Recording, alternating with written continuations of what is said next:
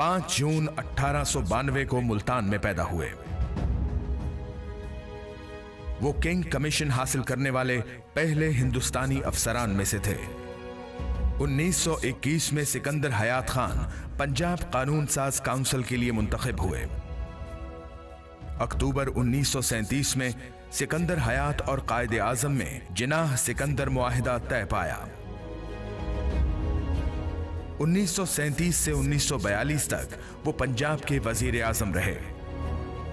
Sikandar Hayat Khan all India Muslim League की 25 रुकनी खसूसी working committee का हिस्सा थे, जिसने करारदाद लाहौर का मुसविदा तैयार किया।